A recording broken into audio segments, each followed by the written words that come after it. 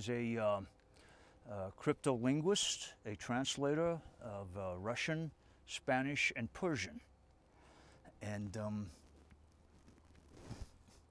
that's how I kind of fell into this study. After I was, after I uh, retired from the Navy, I spent uh, actually 25 years teaching um, those same languages. It was a, a holiday when uh, uh, we who taught at a military academy had to be at work. Uh, so we didn't get the day off, but my son did get his public school day off, so he was he came to work with me uh, that day, and we had a moment uh, right after school uh, that where he he had a project for school that he had to do, and it was he had to write a paper on the subject of his choice, and of course he says, like all 12-year-old boys, right? He says he wanted to do it on Bigfoot, the UFO, or the Loch Ness monster, right? And I said, well, I said, better make a choice. He said, okay, Bigfoot. So I just we started googling Bigfoot. This was two, uh, 2008. Um, so we, we're googling Bigfoot, and he says, "Dad, what do you think Bigfoot sounds like?" I said, and I just remembered some B grade movie from the 70s. and I just goes, "Oh," and he says, "Dad, uh, that's not what Bigfoot sounds like." I said, "Well, let's Google it." Google was new to me at the time, so I said, "Why not?" So we Googled it, and it immediately brought me up to a website that had Ron's Sierra Sounds on it and I played it. I, I, I clicked on it, and I, I immediately knew. I, I, could hear it. I could hear it, and I was stunned. So I played it over again, and it was just a you know three second clip. I played it over again, and over. And my son said, "Dad, what's what are you doing? What's wrong with you?" I said, "Son, there's there's a language here, and that is not a human being." He said, What? What are you talking about? It's got to be fake. I said, No, that's not fake. I can tell. I says, How do you know? I says, I says, We need to slow it down like dad used to do in the Navy. And after quite a bit of detective work and with some help from, I got in touch with some other um, researchers that put me in touch with Ron. I knew about, about him I, I, think I even had seen dad's, one of my dad's old Argosy magazine that had an article on or something like that, but I, you know, it was interesting, but I, I was not into it.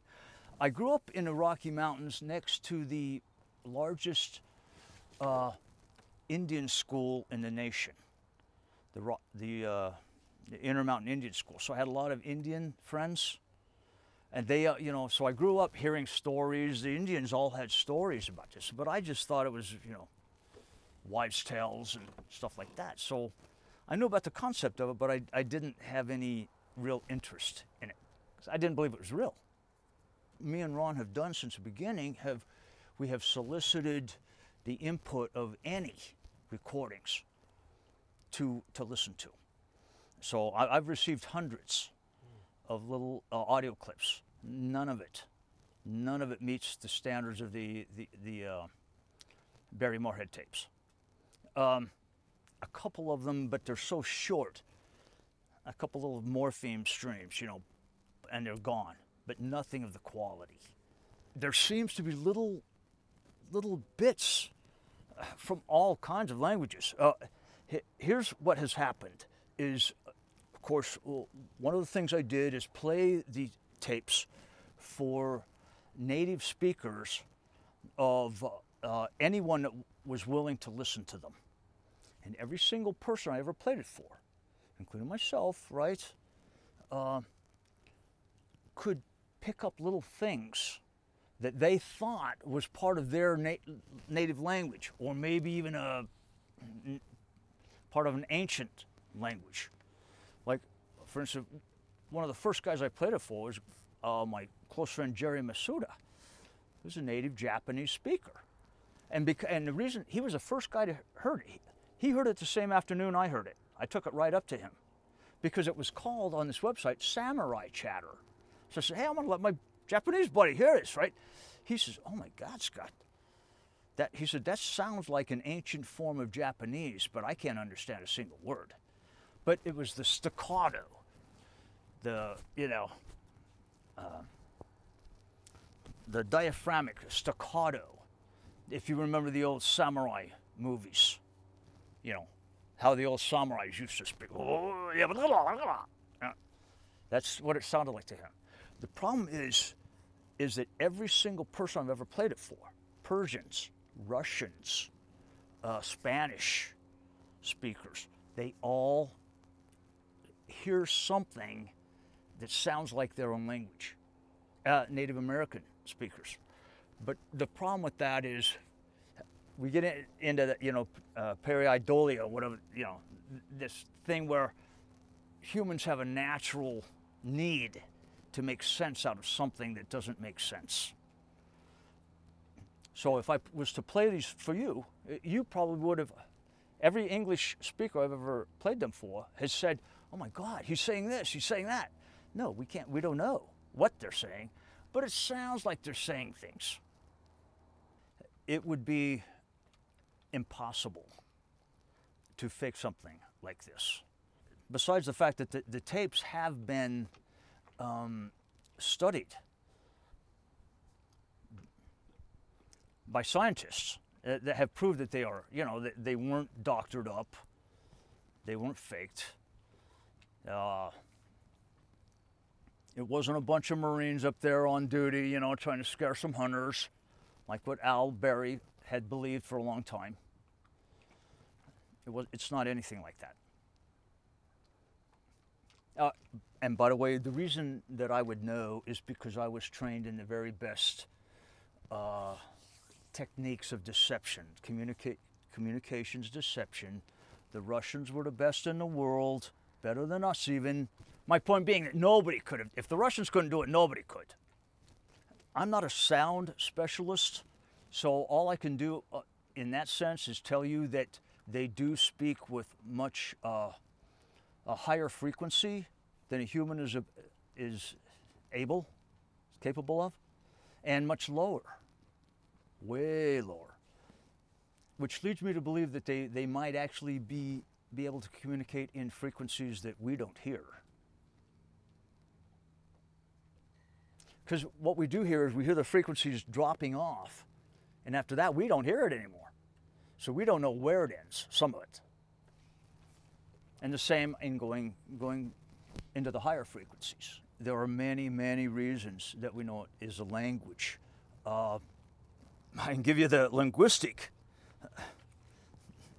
reasons. Okay, it's it's um, it it virtually has the Berry Morehead tapes virtually have uh, every element and characteristic of language in them. Conversational turns in which one creature is speaking to to the other and the other answers. Okay. Um, morphemes, what we would call syllables or words uh, repeated in both the, uh, the um, inquiry and the response. Okay. Um, interrogative, query, oh, it's inflection is all there. It's all human. It's all, it's, it's all, is exactly like human inflection if they do it the same way we do, right? In other words, a question sounds like a question. Okay, the interrogative inflection of it, and then the response inflection from the other creature.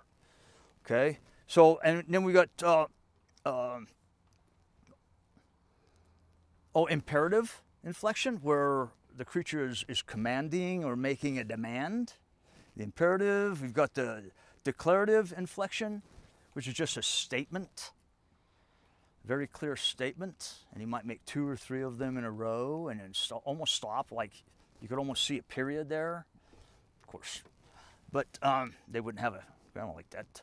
Uh, the expression of emotion, both, uh, we have almost 90 minutes of this, right? So in that, there are almost every emotion expressed by these creatures. Uh, anger, certainly. Anger, frustration, uh, humor.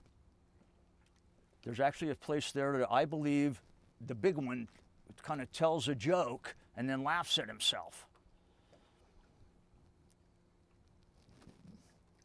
So, um, and then uh, the articulation of it, the articulation of the, the phonemes are virtually the same as, as humans.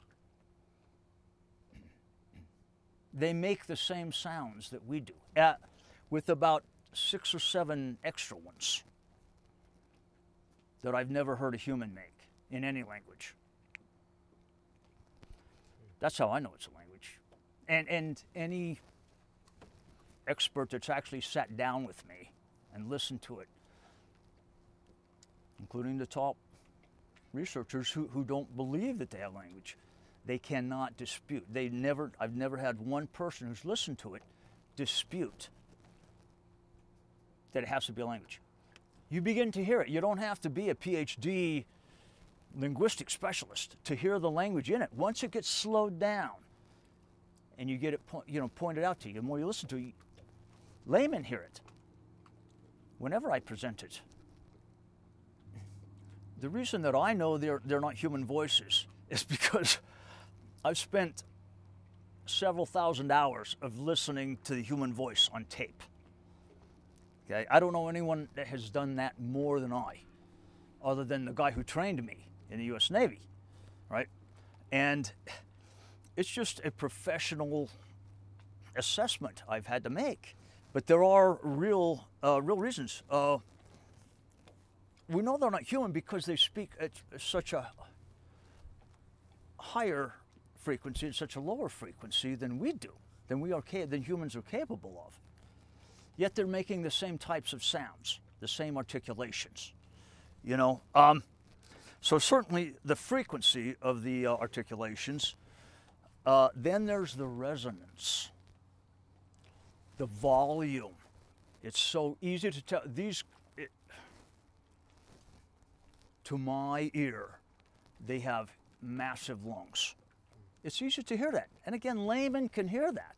You don't need me to tell you. These guys have massive lungs. I've never heard this before in all my years.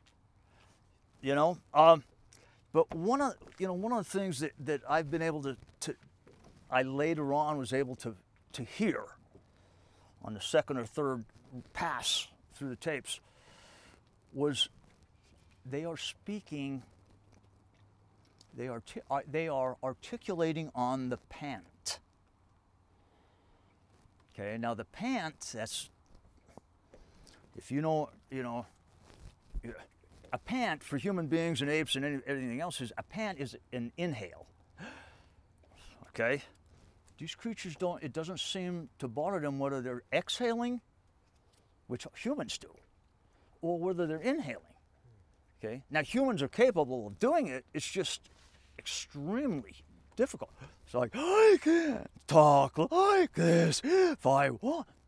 All right? But humans don't do it, right? But these creatures do it with ease. So yeah, it's that's that was the thing that, I mean, I, I knew those three things immediately sitting there that afternoon with my son, is that this was a language, pure and simple, and I'd only heard a few words, I could tell. Second one's, uh, it was not a human being. And the third thing is that it was not fake and could not have been faked. So, I mean, I knew that right away, but then what, the second, third pass, when I heard the, you know, the, the, the articulation on the pant, I, I knew that's impossible for a human being to do with those articulations. Oh, something else, the prosody or the rate of deliverance. The rate of deliverance of the utterance is uh, almost twice as fast as us, as human beings. Now, not all of them. Just like human beings, we can talk fast or we can talk slow. Maybe they were at that moment excited, right? But yeah, the rate of, the prosody or the rate of deliverance is way beyond what we can do. Maybe auctioneers, you know. After all these years, studying this with Ron, and we've been up on that mountain so many times um, the conclusion that we have come to, the only thing that we really can conclude is, uh, and Ron is the one that first said this to me, and I said, You're so right, Ron. He says, There, he says, Scott, we were up on a mountain. He says, Scott, there is way more going on with these creatures than we can possibly imagine. And he's right. From my experience, he's right.